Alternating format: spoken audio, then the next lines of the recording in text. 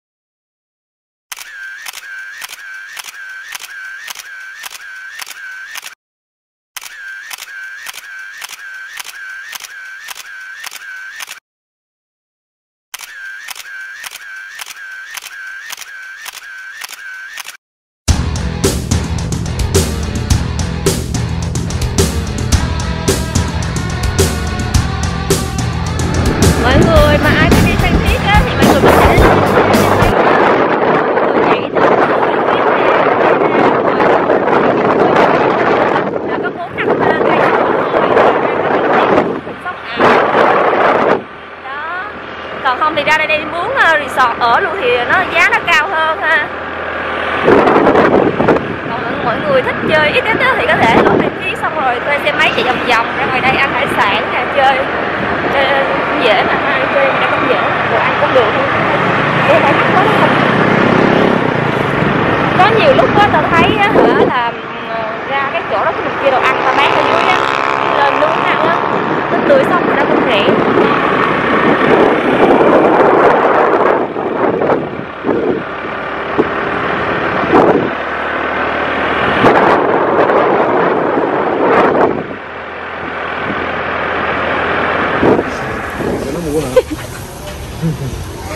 Thủy nè đồ ăn đó ờ, nướng đá không đâu có thấy miếng đá nào đâu quán là nhà hàng cúng mập nha Bữa chị nó đúng rồi. Có cô phần em đây hay không mà đủ rồi. Cái này sạch sẽ mát mẻ nhậu vô mấy kia lơm tôm lơm tôm. Rồi chưa? cộng nhân lại nha vô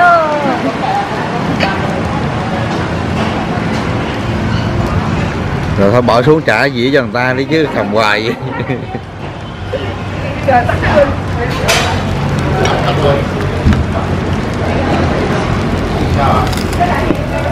Nó làm bơ đó bò đang nhá nhá nhá lên gì đã nè. Đây xin giới thiệu đây là cái đội ờ, tiền đạo xuất sắc nhất. ai đi tiền đạo. vô. Xin giới thiệu đây là tiền đạo xuất sắc nhất của chúng tôi. Cô ấy đã chuẩn bị đang ghi bàn thắng thứ nhất. Sút sút đi sút đi nó trái banh bự chưa Ê, cái nhắn nhủ gì đăng ký coi ủng hộ ông có cung gì không Ờ, xin ờ, mọi người đăng ký ờ, kênh ông Cao Tuân để mà tha, có những cái clip ờ, xuất sắc và hấp dẫn nhất của hành tinh này. Xin cảm ơn quý vị đã đăng ký. Mặc dù quý vị chưa đăng ký. Ai nói sẵn cho cười vậy? Giờ tao thấy mặt món đặc sản nè heo sữa quay phải không? Thôi con nhìn nó cỡ Mày ăn ăn. Tao giữ hai tay qua đây ăn con Thì tao giấu cái này tao ăn mình. đây là con cá mú. Đó cái miệng. Đó, ăn đây được. Đây là con cái mú, cái miệng nó như cái mú.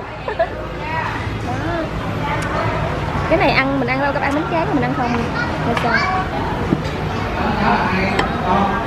Còn cá to mà có mấy miếng Chứ không là đó giờ tao đi đó giờ đi ăn á.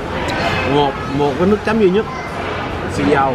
Không có chấm cái gì đó nhiều người nói "Ủa sao mà chấm gì kỳ á? Ủa đó là sở thích của mỗi người đâu thể nào mình nói được đúng không? Cái nước chấm là, là không bao giờ mà nói được. À cái món này phải chấm cái này. Ủa tao thích cái chấm gì vậy tao nói giờ tao sẽ xì dầu ơi. Tự nhiên nói chứ em là nó "Ờ, món này phải chấm như này ủa tao thích chấm như vậy Đúng rồi, mấy thằng ở biên hòa về nó hay chấm xì dầu. nước sốt nè. Rau nè. Ngọt